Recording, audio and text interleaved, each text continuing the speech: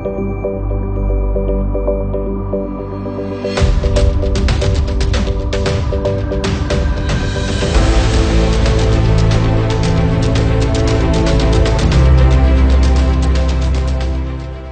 আলাইকুম। আজকে আমাদের আলোচ্য বিষয় হচ্ছে ক্যারেক্টার স্ট্রিং এবং কনস্ট্যান্ট এই বিষয়গুলো কি এবং কীভাবে এদেরকে নিয়ে কাজ করতে হয়? প্রথমে আমরা দেখে নিই ক্যারেক্টার জিনিসটা কি। ক্যারেক্টার হচ্ছে কিছুই না। জাস্ট আপনি যখন একটা ভেরিয়েবল নেবেন এবং সেই ভেরিয়েবলের ভিতরে জাস্ট সিঙ্গেল কোট অথবা ডাবল কোটের ভিতর কোনো একটি অক্ষর রাখবেন, সেটাই হচ্ছে একটি ক্যারেক্টার আমরা যখন ক্যারেক্টারটাকে ইচ্ছে করলে আমরা ইকো করতে পারি।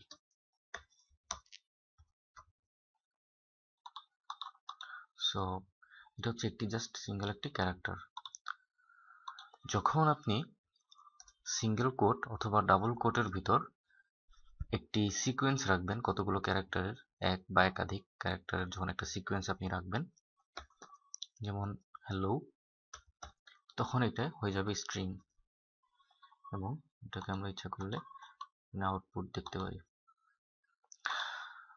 আচ্ছা তো ক্যারেক্টার এবং স্ট্রিং এর মধ্যে বেসিক্যালি একটাই পার্থক্য ক্যারেক্টারে আপনি জাস্ট একটা ক্যারেক্টার রাখবেন আর স্ট্রিং এর ভিতরে মাল্টিপল ক্যারেক্টার রাখতে পারেন অ্যাজ এ সিকোয়েন্স আপনি যদি হোয়াইট স্পেস দেন তো সেটাও একটা আসলে ক্যারেক্টার হিসেবে গণ্য হয়। কম্পিউটারে হোয়াইট স্পেসও নিউ লাইন বলুন বা ট্যাব বলুন, যাই বলুন না কেন, সবই আসলে একটি ক্যারেক্টার হিসেবে গণ্য হয়। যেমন এখানে আমি মাঝখানে কিন্তু স্পেস দিলাম, মনে হচ্ছে যে মাঝখানে কোনো ক্যারেক্টার নাই, কিন্তু আসলে ক্যারেক্টার একটা আছে, সেটা হচ্ছে স্পেস ক্যারেক্টার সো এখন আমরা এই ক্যারেক্টারের সুবিধা কি আমরা যদি একটি স্ট্রিং নেই। যেমন ভ্যারে এখন একটি স্ট্রিং আছে, আমি কথা কথা নামটা যদি চেঞ্জ করে দিই, বোঝার সুবিধা হবে। স্ট্রিং নামে একটা ভ্যারিয়েবলে আমি জাস্ট একটি স্ট্রিং রাখলাম। এখন আমরা চাইলে এই স্ট্রিং এর উপর বিভিন্ন অপারেশন করতে পারি। আমরা যদি স্ট্রিং এর লেন্থ বের করতে চাই স্ট্রিং এর দৈর্ঘ্য কতটুকু, তাহলে আমরা জাস্ট এই স্ট্রিংটাকেই একটি ফাংশনের ভিতর ঢুকিয়ে দেব। পিএইচপিতে বিল্ট ইন একটা ফাংশন আছে S T R L E N এই ফাংশনের কাজ হচ্ছে স্ট্রিং এর লেন্থটা আপনাকে বের করে দিবে। এখানে আপনি স্ট্রিংয়ের নামটা বলবেন, আপনার ভ্যারিয়েবলের নামটা এখানে বলবেন, সে আপনাকে এখানে তার লেংথটা বের করে দিবে।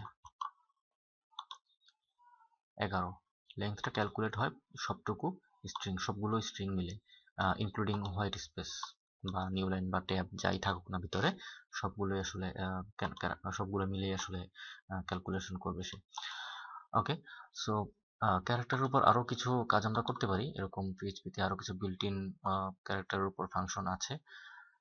লাইক আমরা যদি কতগুলো ওয়ার্ড আছে এই ক্যারেক্টারে সেটা যদি জানতে চাই, তাহলে আমাদেরকে এই ফাংশনের নামটা যদি শুধুমাত্র চেঞ্জ করে দিই S T R word count যদি দিই, তাহলে কতগুলো শব্দ আছে সেগুলো সে বের করে দেবে। দুইটা শব্দ আছে, এখানে আউটপুট টু এসেছে। সো এভাবে আমরা স্ট্রিং এর উপর বিভিন্ন অপারেশন করতে পারি। আমাদের লাস্ট আলোচ্য বিষয় হচ্ছে, আমরা কীভাবে কনস্ট্যান্ট ডিফাইন করতে পারি? কনস্ট্যান্ট বলতে আসলে কি বোঝায়? আমরা এতদিন দেখেছি যে একটি ভ্যারিয়েবলের ভিতরে আমরা ভ্যালু রাখতে পারি এবং এই ভ্যালুটা আসলে প্রোগ্রাম এক্সিকিউশনের মাধ্যমে আমরা এই ভ্যালুটা চেঞ্জ করে দিতে পারি। যে কোনো সময় ভ্যারিয়েবলের ভিতরে আমরা প্রোগ্রামাটিক্যালি অন্য কোনো ভ্যালু অ্যাসাইন করতে পারি। কিন্তু কনস্ট্যান্ট হচ্ছে এমন একটা ভ্যারিয়েবল যেখানে আসলে একবার একটা ভ্যালু ডিক্লেয়ার করা হয়ে গেলে আপনি প্রোগ্রাম এক্সিকিউশনের সময়ও সেই ভ্যালুটা আপনি চেঞ্জ করতে পারবেন না। ওটা একই রকম থাকবে যতক্ষণ যতক্ষণ না আপনি কোডের ভিতরে গিয়ে সেটার ভ্যালুটা চেঞ্জ করতেছেন। সো আমাদের আসলে সেই কোডটা দেখে নিই, কীভাবে আসলে আমাদেরকে কনস্ট্যান্ট ডিফাইন করতে হয়। কনস্ট্যান্ট ডিফাইন করতে গেলে প্রথমে আমাদেরকে ডিফাইন একটি কিওয়ার্ড বলতে হবে এবং এই কিওয়ার্ডটা আসলে এটা একটা ফাংশন পিএইচপি ইন একটা ফাংশন এই ফাংশনটা শুধুমাত্র ক্রিয়েট করাই হয়েছে, যাতে আমরা কনস্ট্যান্টগুলো ডিফাইন করতে পারি আমাদের মতো করে। লাইক এখানে যদি আমরা একটি কনস্ট্যান্ট ডিফাইন করি, এটার নাম যদি দিই আমরা ওয়েলকাম তো ওয়েলকামের ভিতরে যদি আমরা একটা ভ্যালু রাখি হ্যালো ওয়ার্ল্ড তাহলে আমরা এই ভ্যালুটাকে কীভাবে পাবো? জাস্ট সিম্পলি ইকো করতে হবে সেই সেই কনস্ট্যান্টের নামটাকে। যেমন এখানে কনস্ট্যান্টের নামটা হচ্ছে আমাদের ওয়েলকাম আমরা যদি ওয়েলকামকে ইকো করি, তাহলে আমরা সেটা দেখতে পাবো। ভ্যালুটা পর্দায় প্রিন্ট হবে। সো আমরা আমাদের ডিজায়ার্ড আউটপুটটা পেয়ে গেলাম।